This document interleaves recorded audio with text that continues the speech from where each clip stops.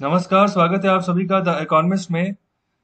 तो अभी जो हम बात करने जा रहे हैं ना तो काफ़ी अहम बात है कोविड नाइन्टीन के रिगार्डिंग कि अभी जो रिसर्च हुई है तो उसमें ये पाया गया है कि जो ये सिक्स फीट का डिस्टेंस जो हम कह रहे हैं ना कि दो मीटर की दूरी आपस में बनाई रखनी है तो इसी के चलते कोविड नाइन्टीन से बचाव हो सकता है तो ये भी फेल हो गया है।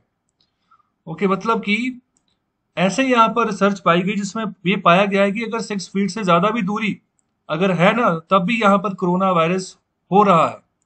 ओके तो ये बात यहाँ पर कही जा रही है यूएस सीडीसी के द्वारा। तो यहाँ पर नई गाइडलाइंस भी इनके द्वारा जारी की गई थी। अभी किन मुद्दों के ऊपर हमने ध्यान रखना है तो ये बहुत ज़रूरी है।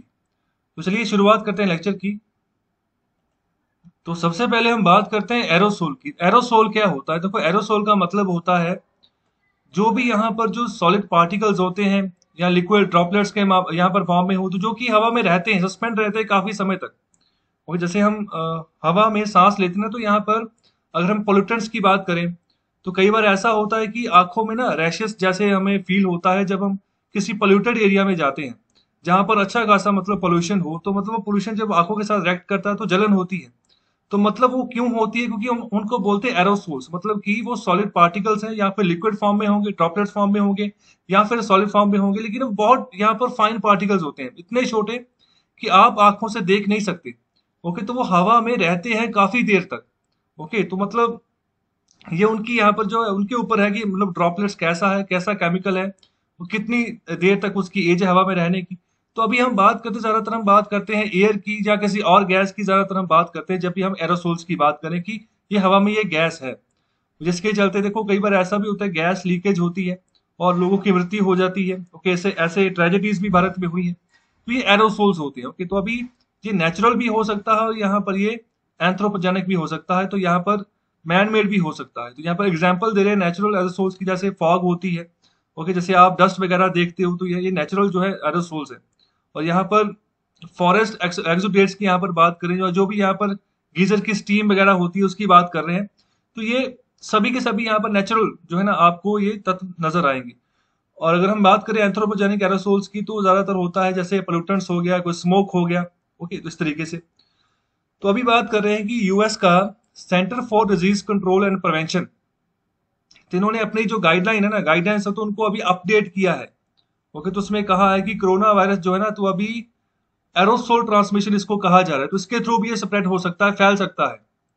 ओके तो अभी बात कर रहे हैं कि जो पैथोजन जो यहाँ पर ट्रांसमिट होते हैं, आगे बढ़ते हैं तो यहाँ पर ऐसा नहीं कि सिर्फ़ यहाँ पर क्लोज कॉन्टेक्ट हुआ, तभी यहाँ पर होगा।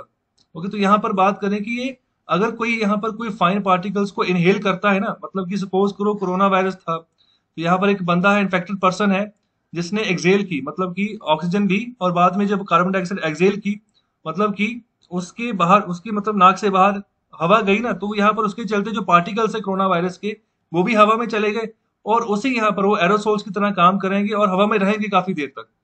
और जब तक हवा में रहेंगे तो जो दूसरा बंदा, चाहे वो सिक्स फीट की दूरी के यहाँ पर आगे भी बैठा है ना तो हवा में वो पार्टिकल जब तैयार कर आगे जाएँगे तो वो बंदा जब इनहेल करेगा सांस लेगा तो उसके अंदर वो वायरस चला जाएगा तो ये सिचुएशन अभी बनती हुई नज़र आ रही है। ओके तो अभी ये जो एरोसोल्स हैं, ये जो कोरोना वायरस के यहाँ पर जो पार्टिकल्स हैं, ये हवा में रह रहे हैं काफ़ी देर तक। ओके तो ये सिचुएशन अभी बनती जा रही है। और अभी आगे यही बात कर रहे हैं कि अभी जो एजेंसी है तो अभी ये बात कह रही है कि जो एयरबोर्न वायरस है ना तो अभी कहीं पर भी कोई बंदा अगर सांस लेता है तो उसके अगर सिक्स फीट से ज़्यादा भी दूरी है, तब भी यहाँ पर हो सकता है। तो इन्फेक्टेड इंडिविजुअल कोई भी पर्सन है, उसके आसपास से चाहे दूर है, नुकसान कर सकता है भाई। तो ये थोड़ा देखो अभी, थोड़ा आप भी ध्यान रखो अपना। तो यहाँ पर बात करें कि ऐसी ट्रांसमिशन पहले यहाँ पर बहुत सारे यहाँ पर रिसर्चर्स के द्वारा यहाँ पर कहा भी गया फैक्टर किया गया। पब्लिक हेल्थ ऑफिशियल्स के द्वारा भी कहा गया कि ऐसी ट्रांसमिशन होती है, हवा में ये रहता है। लेकिन ये गाइडलाइन को अपडेट नहीं किया गया था सीडीसी के द्वारा ओके तो यहाँ पर सेंटर ऑफ़ डिज़ीज़ कंट्रोल की अगर बात करें तो उन्होंने अपडेट नहीं किया था। तो देखो, ये जितने भी ऑर्गेनाइजेशन होते हैं, खासतौर पर अगर यूएस के ऑर्गेनाइजेशन की बात करें, इनके ऊपर विश्वास रहता है लोगों का कि अगर इन्होंने कोई कोई भी गाइडलाइन जारी की है ना तो उसको मानो। ओके तो जिस तरीके से ये काम करेंगे, उसको लोग मानते हैं। ओके तो अगर मतलब यहाँ से भी कोई अपडेशन में डिले हो जाए ना, तब दिक्कत आती। जैसे डब्ल्यू के द्वारा हुआ था, उसको पैंडेमिक घोषित करते करते कोरोना वायरस को काफ़ी देर लगा दी, जिसके जब तब यहाँ पर पैंडेमिक घोषित किया, जब पूरी दुनिया में फैल गया। ओके तो ये सिचुएशन है। तो अभी बात कर रहे हैं कि अभी अपनी गाइडलाइन को यहाँ पर अपडेट कर रहे हैं अब। ओके तो कह रहे हैं कि यहाँ पर जो पहला पोजीशन था ना, यहाँ पर सीडीसी का तो वो पहले कह रहे थे कि ज़्यादातर इन्फेक्शन जो ना क्लोज कॉन्टेक्ट की वजह से हो रही है। अगर अगर कि किसी भीड़ भाड़ वाले इलाके में आप जा रहे हो, या फिर कोई सरफेस ट्रांसमिशन मतलब कोई ऐसा एरिया कोई ऐसी जगह, जैसे अगर बात करूँ, जैसे स्टेयर्स की रेलिंग्स होती हैं तो ज़्यादातर अगर आप कहीं पर किसी कॉलेज में विज़िट करते हो तो वहाँ पर स्टेयर्स को चढ़ते ही चढ़ते हो तो रेलिंग्स के ऊपर हाथ जाता ही जाता है, सबका जाता है। तो उससे भी यहाँ पर ऐसे ट्रांसमिशन होने के चांसेस है। तो अभी इन्होंने अपना स्टैंड चेंज किया ओके तो भाई गाइडलाइन को भी इन्होंने अपना अपडेट किया है।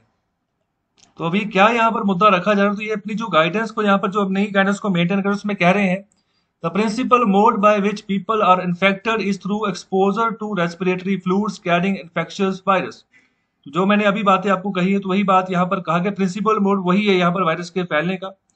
और ये बात कह रहे हैं कि जो वायरस है ना तो यहाँ पर जो पुअरली वेंटिलेटेड एरियाज़ है तो वहाँ पर भी यहाँ पर फैलने के ज़्यादा चांसेस हैं। कहने का मतलब कि अगर देखो एक छोटा सा घर है, यहाँ पर कोई एक कमरा है दस बाय दस का एक कमरा या फिर पाँच बाय पाँच का एक कमरा जहाँ पर फैमिली के यहाँ पर काफ़ी सारे जो लोग बना रहे हैं, चार पाँच लोग जो है एक ही इसे छोटे कमरे में रह रहे हैं तो वहाँ पर अगर एक को हो गया तो सबको होगा। क्योंकि एक तो छोटा सा कमरा है मतलब भीड़ होगी उस कमरे में तो यहाँ पर फैलने के चांसेस है। और दूसरी, अगर वो कमरा वहाँ पर अच्छे से खिड़कियाँ वगैरह नहीं है वेंटिलेशन नहीं है तो तब भी यहाँ पर कोरोना वायरस हो जाएगा तो उसके भी चांसेस है। ओके तो यहाँ पर एरोसोल जो है वो हवा में रह रहा है और यहाँ पर यहाँ पर ट्रेवल भी कर रहा है तो यहाँ पर एक मीटर से ज़्यादा दूरी तक ये तय कर रहा है। ओके तो अब अगर छह फुट की हम दूरी बोलते तो मतलब इससे काफ़ी आगे ये जा रहा है। तो ये सिचुएशन अभी बनी हुई है तो अभी बात करें, कुछ एक्सपर्ट्स यहाँ पर चिंता भी यहाँ पर जता रहे हैं कि जो सीडीसी ने यहाँ पर जो पहले यहाँ पर एयरबोन एरोसोल ट्रांसमिशन के बारे में जो कहा है तो उसमें अच्छे से डिटेलिंग हमें नहीं दी। जैसे यहाँ पर पहले पहले की अगर बात करें, यहाँ पर बात करें कि सोशल सोशल डिस्टेंसिंग मतलब कि आप सामाजिक दूरी बनाकर रखें। तो यहाँ पर बात करें कि अभी जो दिक्कत है ना, अभी जो मेन मुद्दे के ऊपर फोकस करना वो है कि पर्सनल डिस्टेंसिंग अपने आप को बचा के चलो, जितना बचा के चल सकते हो किसी दूसरे पर्सन के साथ। जो अटैचमेंट है काफ़ी दूर अभी रखनी होगी तो उस हिसाब से यहाँ पर चलने की बात कर रहे हैं। और इसके अलावा यहाँ पर एडवाइस भी दी जा रही है कि मास्किंग तो करनी करनी है डिस्टेंसिंग करनी है। तो यहाँ पर जो वेंटिलेशन है ना तो यहाँ पर इसके बारे में पहले बात ही नहीं की गई। ओके तो यहाँ पर जो इन्होंने पहले गाइडेंस भी दी थी तो ये इसी चीज़ के बारे में यहाँ पर पहले बात नहीं रखी तो ये सबसे इंपॉर्टेंट है। खासतौर पर यहाँ पर जो अगर फैमिलीज़ की बात करें तो वहाँ तक ये बात पहुंचनी चाहिए, भाई, अगर आपके रूम अगर एक रूम है, ज़्यादा फैमिली मेंबर्स हैं तो वेंटिलेशन का यहाँ पर प्रबंध कर लो किसी ना किसी तरीके से। मतलब कि हवा क्रॉस होनी चाहिए। तो हवा भी मतलब साफ़ हवा हो, इस एरिया में आप रहो तो ये भी आपके ऊपर डिपेंड करता है कि इस जगह पे आप जो है ना अपना सर्वाइवल करें। और आगे यहाँ पर बात कर रहे हैं कि जो यहाँ पर जो एरोसोल्स है तो यहाँ पर उसमें भी यहाँ पर डेफिनेशन कर रहे हैं कि एरोसोल जो फाइन यहाँ पर बेस्ट ड्रॉपलेट्स होते हैं। तो यहाँ पर हो सकता है कि आ, कुछ इंपॉर्टेंट गाइडलाइंस यहाँ पर इसके चलते यहाँ पर हम दें और मतलब इसका कुछ और भी सिनेरियो निकल कर आए आने वाले समय में। तो यहाँ पर बात कर रहे हैं कि ये बेटर रहेगा कि आप आउटडोर्स यहाँ पर ज़्यादातर रहें मतलब कि इस तरीके का सिनेरियो हो कि मतलब जो बाहर ज़्यादातर लोग जो जाते हैं ना कहने का मतलब घर के बाहर थोड़ा। ऐसा नहीं कि मतलब आप जो है पार्क वगैरह में चले जाए वहाँ पर भीड़ इकट्ठी कर दें। तो आउटडोर की मतलब कि थोड़ा सा बाहर, घर के बाहर वगैरह रहे, घूमे तो ये सिचुएशन थोड़ी सी रखें। अगर घर में यहाँ पर सिचुएशन खराब है, घर में मतलब कि इनडोर फैसिलिटी बहुत खराब है वेंटिलेशन नहीं है तो। सोशल डिस्टेंसिंग को भी आप फॉलो करो तो यहाँ पर तो वही बात करी है कि यहाँ पर जो पूरी वेंटिलेटेड स्पेसेस है तो उनका कोई ना कोई हल यहाँ पर निकालना होगा। तो अभी एक, यहाँ पर एक और चिंता यहाँ पर राइज होगी है तो अभी जो नई गाइडलाइंस है तो ये क्वेश्चन मार्क खड़ा हो गया है, किसके ऊपर कि अभी जो यूएस में स्कूल्स ओपन हो रहे हैं तो वहाँ पर जो गाइडलाइंस जारी की तो वहाँ पर थ्री फीट डिस्टेंसिंग की बात की की जा रही है क्लासरूम्स में। तो अभी ये बात कर रहे हैं कि अभी इस गाइडलाइन को, जो कि यूएस सरकार के द्वारा ली गई है स्कूल्स को खोलने के लिए, इसको दोबारा से अभी रिवाइज करना पड़ेगा, क्योंकि ये अभी तो ये थ्री फीट की बात कर रहे हैं तो ये तो ये सिक्स फीट को भी कम बता रहे हैं। तो अभी इसको चेंज करने की यहाँ पर बात चल रही है।